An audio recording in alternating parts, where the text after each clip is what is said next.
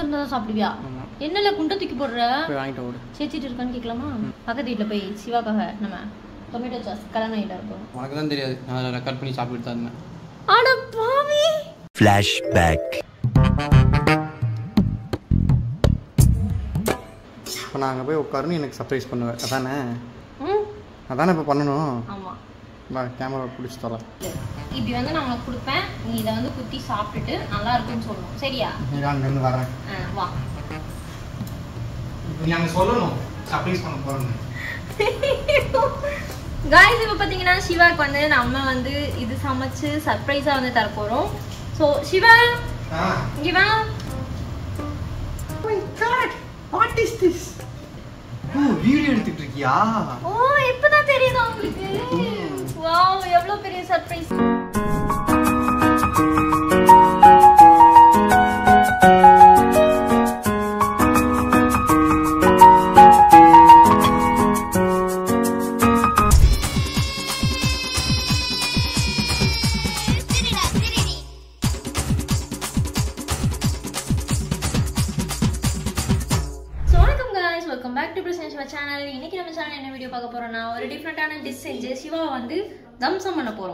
அதாவது ஷாக்காக பயங்கரமாக டேஸ்ட்டாக ஷாக் கொடுக்க போகிறோம் அதிர வைக்க போகிறோம் ஸோ என்ன செய்ய போகிறோன்னா this one favourite pasta I mean இது வந்து ப்ரொமோஷன்லாம் கிடையாது. நம்ம வந்து பாஸ்தா தான் நாளைக்கு செய்ய போகிறோம் அது என்ன போட்டு அப்படின்னா முட்டை போட்டு பாஸ்தா செய்ய போகிறோம் கேமராமேன் பார்த்தீங்கன்னா பயங்கர சூட்டிக்காக இருக்காப்புல.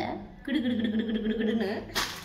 ஸோ லெவல் லெவலுன்னு பேசாமல் நான் ஆல்ரெடி பார்த்தீங்கன்னா ரொம்ப வந்து வீடியோ ரொம்ப லென்த்தாக இருக்கும்னு சொல்லிட்டு நான் ஆல்ரெடி இதுக்கு தேவையான வெங்காயம் தக்காளி அதாவது டொமேட்டோ ஓனியன் எல்லாமே வந்து கட் பண்ணி வச்சிட்டேன். ஸோ இஞ்சி பூண்டு பேஸ்ட் வந்து நம்ம எப்பவுமே நம்ம வீட்டில் வந்து அரைச்சி ஃப்ரெஷ்ஷாக வந்து டூ டேஸ் ஒன்ஸ் நான் வச்சுருப்பேன். ஸோ இஞ்சி பூண்டு பேஸ்ட் வந்து அரைச்சி ஃப்ரிட்ஜில் வச்சுருக்கோம். வேக வச்சிடலாம் ஃபஸ்ட்டு வாங்க வேக வைக்கலாம்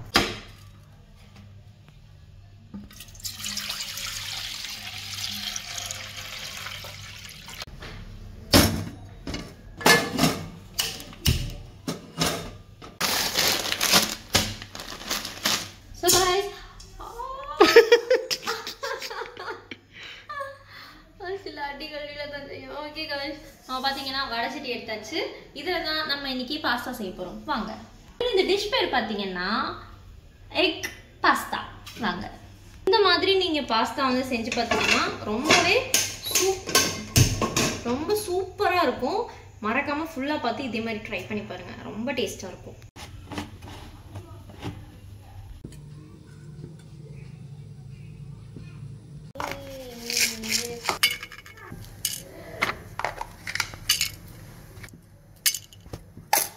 ஸோ காய்ஸ் மூணு கிராம்பு ரெண்டு ஏலக்காய் கொஞ்சம் வந்து இந்த கடல் பாசி அதுக்கப்புறம் பார்த்தீங்கன்னா பட்டை. நம்மக்கிட்ட வந்து அன்னாச்சி பூ இல்லை அதாவது ஸ்டார் பூ இல்லை. அதனால் வந்து இதை மட்டும் சேர்த்துக்கலாம்.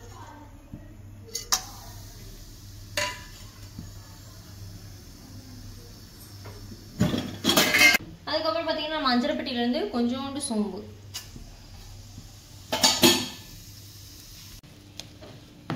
எல்லாத்தையுமே என்னதான் முன்னாடி சில பொருள்லாம் எடுத்து வச்சாலும் சில பொருளை கண்டிப்பா மறந்துடும் அவசரத்துல போய். ஐயோ அவசரத்துல போய் எடுத்துட்டு வருவோம் பாவம். குடத்துல தட்டிட்டாரு.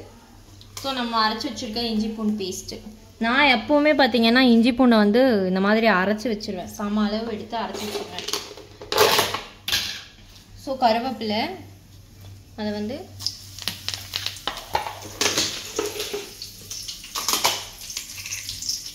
இஞ்சி பூண்டு பேஸ்ட்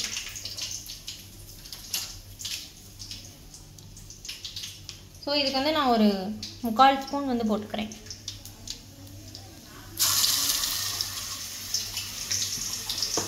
ஸோ பார்த்தீங்கன்னா வெங்காயம்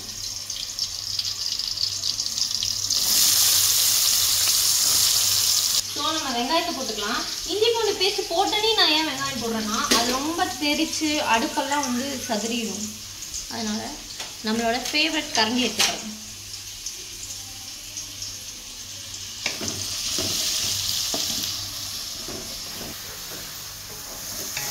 இது கூட நீங்கள் பச்சை மிளகா கூட ஆட் பண்ணிக்கலாம்.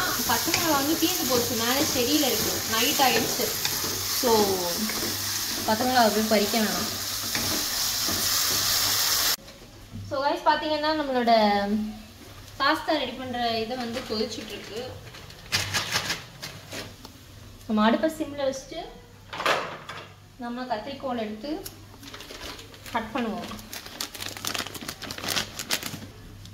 நான் இந்த மாதிரி பாஸ்தாலாம் வந்து வாங்கவே மாட்டேன். ஆக்சுவலாக இந்த பாஸ்தா எதுக்காக கிடச்சுன்னா மைதா மாவு அரை கிலோ வாங்கினேன். ஸோ மைதா மாவுக்கு இந்த பாஸ்தா வந்து ஃப்ரீயாக கொடுத்தாங்க. ஸோ நீங்களும் மைதா மாவு வாங்கி பாஸ்தாவை என்ஜாய் பண்ணுங்கள் இது கொதிச்சிட்டே இருக்கட்டும். நம்ம வந்து இதில் வந்து பாஸ்தாவில் பாஸ்தா போடுவோம் ஸோ சொல்லுவாங்க இந்த மாதிரி பாஸ்தா நூடுல்ஸ்லாம் போடும்போது பார்த்தீங்கன்னா எண்ணெய் ஊற்றணும்னு சொல்லிட்டு. என்னை பொறுத்த அளவுக்கு அது எண்ணெய் ஊற்றி எந்த ஒரு ப்ர பிரயோஜனமும் கிடையாது. நீங்கள் பாஸ்தா வெந்ததுக்கப்புறம் அதாவது கரெக்டான பதத்தில் வெந்ததுக்கப்புறம் என்ன பண்ணுறீங்கன்னா அதை வந்து கூல் வாட்டர் அதாவது கூலிங்னா நார்மல் வாட்டர் போட்டு நீங்கள் அலசி ஊற்றுனீங்கனாலே ஒரு ரெண்டு டைம் வாஷ் பண்ணி ஊற்றுனீங்கனாலே அது தனித்தனியாக செப்பரேட்டாக சூப்பராக இருக்கும். நீங்கள் அதுக்குன்னு எண்ணெய் ஊற்றலாம் தேவையே கிடையாது. என்னோட வெங்காயம் வந்து நல்லா பொரிஞ்சிடுச்சு இப்போ வந்து நம்ம எடுத்திருக்க தக்காளி போட போகிறோம்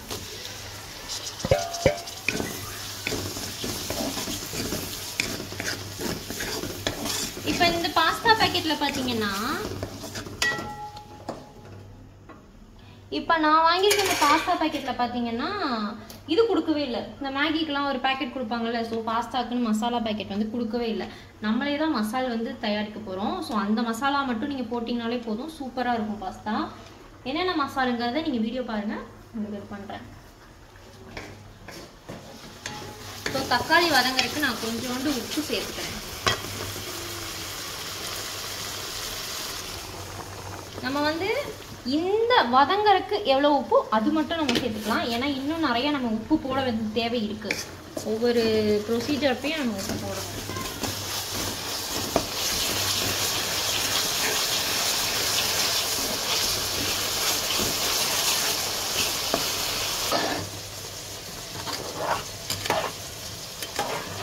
ஸோ ஒரு எயிட்டி பர்சன்ட் பாஸ்தா வந்து நல்லா வெந்துருச்சு.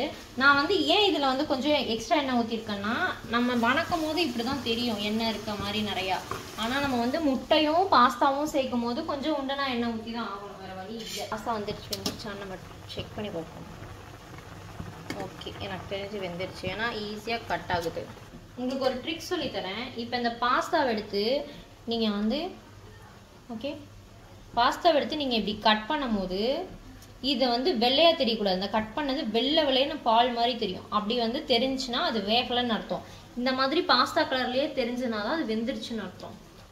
ரொம்ப குறைவாக வந்தாலும் ரொம்ப கேவலமாக இருக்கும். இந்த மாதிரி இதோ இந்த பிக்கும் போது இது வந்து ஃபஸ்ட்டு வேகாத பாஸ்தா ஒன்று எடுத்து பார்த்தேன். இப்படி தெரிஞ்சால் வேகலைன்னு அர்த்தம்.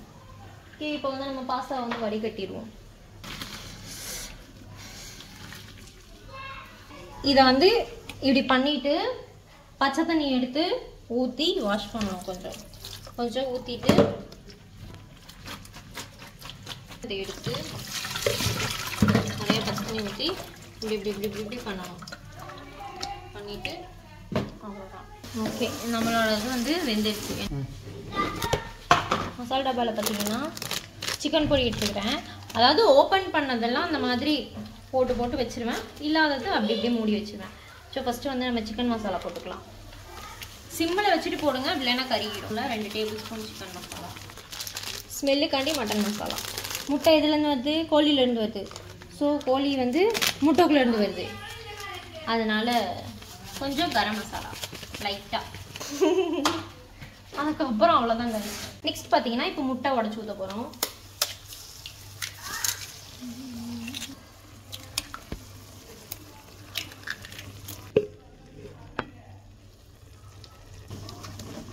கொஞ்சம் ஹை ஃப்ளேமில் வச்சுட்டு.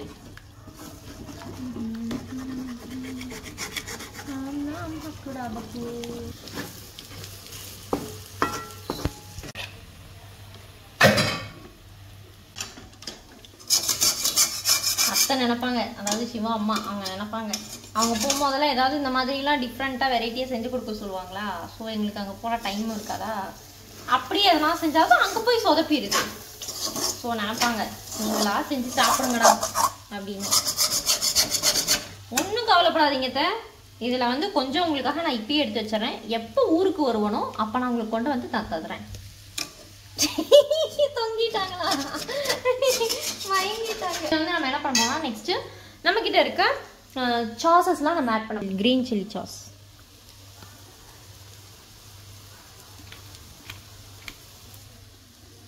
பரலையே இதோ வருது ஸோ போதும் இவ்வளோ போதும். ஏன்னா அவ்வளோதான் இருக்கு. ரெட் சில்லி அதுவும் சுத்தம். ஓகே இவ்வளோ இருக்கு. ரெட் சில்லி சாஸ் நம்மளோட பாஸ்தா பார்த்தீங்களா நம்ம வந்து எந்த எண்ணெயுமே வந்து நம்ம ஆட் பண்ணவே இல்லை. ஆனால் பாஸ்தா பார்த்தீங்களா தனித்தனியாக இருக்குது so this is the trick நம்ம எண்ணெய் ஊற்ற வேண்டிய அவசியமே கிடையாது. நீங்கள் நேர்லேயே பார்க்குறீங்க ஸோ கொஞ்சோண்டு சோயா சாஸ் ஓரமாக ஊற்றுவோம் எப்பவும் சோயா சாஸ் ஊற்றுனா அடுப்பை சிம்மில் வச்சு ஊற்றுங்க இல்லைன்னா சீக்கிரமாக அது அடி பிடிக்கும்.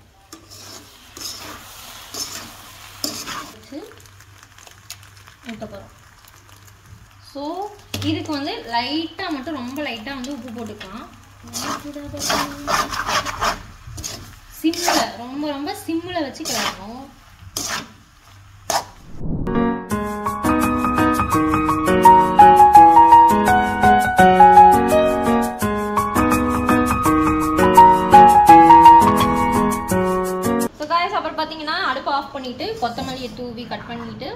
ஜி கட் பண்ணி கொத்தமல்லியை தூவிட்டு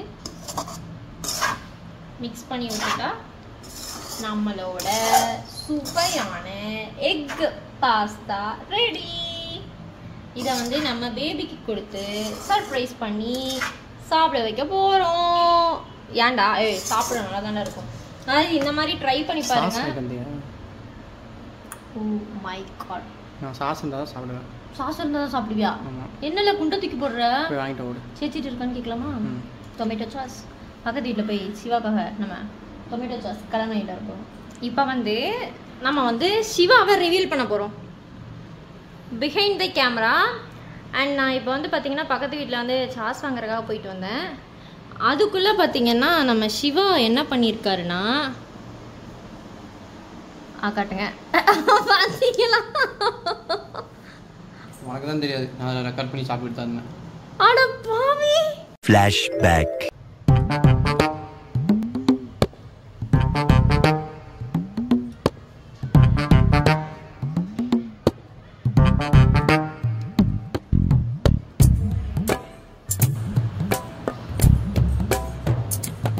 நம்ம சமைச்சதை நம்ம மட்டும் சாப்பிடக்கூடாது இல்லையா?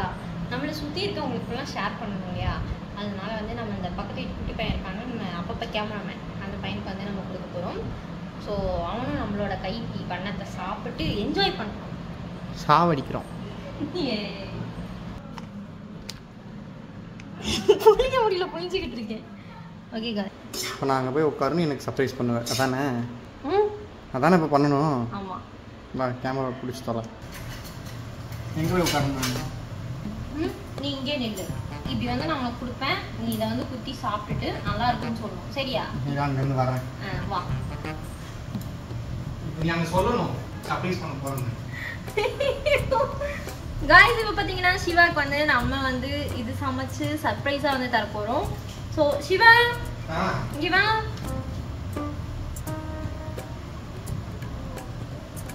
ஓ my God what is this புழுவை வெட்டி போட்டாப்புல இருக்குது. சாப்பிடல உனக்காக கஷ்டப்பட்டு நான் செஞ்சுருக்கேன். ம். ப்ளஸ் சாஸ் எப்படி உனக்கு சாஸ் வாங்கி வச்சிருக்கேன் பார்த்தீங்க ம் எனக்கு தெரியவே தெரியாது. இரு இரு இரு. ஓ வீடியோ எடுத்துட்டு இருக்கியா? ஓ இப்பதான் தெரியுதா உங்களுக்கு. வாவ் எவ்வளவு பெரிய சர்ப்ரைஸ்ல நைஸ் நைஸ் வெரி நைஸ் எப்படி இருக்கு? சூப்பரா இருக்கு. அங்க கடையில் வா. வாங்கினேன் அங்க வா அங்க வா. அங்க வா. ஐயோ. வா அங்க வாங்க வா. போ. கஷ்டப்பட்டு செஞ்சு கொடுத்துருக்கேன். ம் போ வாங்க போ. நல்லா இருக்கா ஃபைனலா ஐ அம் சிவாவை நம்ம சர்ப்ரைஸ் பண்ணிட்டேங்க. உண்மையாலுமே சிவாக்கு இந்த சர்ப்ரைஸ் ரொம்ப பிடிச்சிருக்கும்னு நினைக்கிறேன். அவன் ரொம்பவே வந்து ஷாக் ஆயிட்டான் சர்ப்ரைஸ் ஆயிட்டான் பயங்கரமா.